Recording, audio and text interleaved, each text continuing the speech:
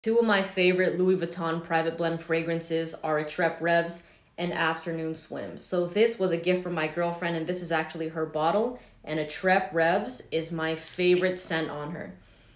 It smells like lychee and cacao and this is a railable fragrance right here. Absolutely 110%. Like this shit makes me weak in the knees and it's super long lasting. Easily performs over 8 hours. It's a hot girl scent, a baddie fragrance and it's super versatile because it has the sweetness from that cacao but the freshness from the lychee.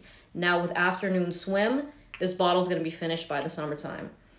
Because I love this shit so much. It smells like oranges. It's very simple, but it's amazing in the high heat. A huge compliment getter. Same with this one. My favorites from, I shouldn't balance it. My